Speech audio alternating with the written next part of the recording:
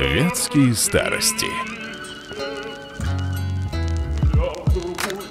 В этот день, сто лет назад, вятские газеты писали в газете «Вятская речь» столетней давности было опубликовано письмо читателя. Не откажите поместить в вашей уважаемой газете следующее. При продаже мной местных газет из киоска на станции «Вятка первая» пассажирам с поезда номер один «Экспресс» находился начальник названного поезда и в присутствии моем и покупателей позволил себе хулить местные газеты в том, что они делают перепечатание телеграмм с чужих газет, а своих корреспондентов не имеют.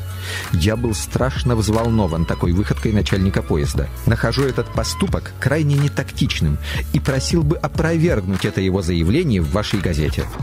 Оказывается, и сто лет назад первые таксомоторы уже не соблюдали правила уличного движения и скоростной режим. О том, что по их вине произошло на улицах города, поведала газета «Северное слово». Вчера в седьмом часу вечера по Московской улице с шумом и треском мчался на таксомоторе некто, одетый в белую блузу. При пересечении Царевской улицы обладатель таксомотора не успел вовремя застопорить машину и едва не смял лошадь какого-то мужика, ехавшего по Преображенской улице. Лошадь испугалась, опрокинула экипаж и, порвав сбрую, бросилась бежать по тротуару к ужасу прохожих, которые в страхе разбегались.